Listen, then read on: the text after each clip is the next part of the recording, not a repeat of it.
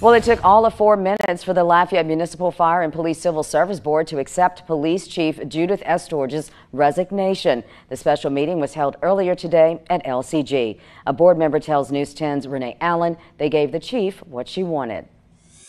The board's decisive vote of approval took place within the Civil Service Board testing room. I want to make sure our I's are dotted and T's are crossed. First, the board addressed the chief's resignation. Following that, the board voted on the demotion to the permanent rank of captain. Demotion to permanent status of captain, which was previously held by the employee, to occur concurrently on May 28, 2024 at 9 a.m. A former chief of police sits on the board. Wayne Prejean acknowledges the chief's resignation as voluntary. You know, I, my question is, and I was glad she was here to say that it was voluntary on her part. She wanted to step down. You know, there's a lot of pressure on Chief. I was one years ago, and uh, but uh, you know, if that's what her wishes are, you know, we'll grant her wish.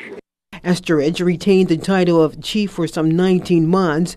Estorge is the LPD's first female chief of police. And you said thank you for your service. Yes, very much so.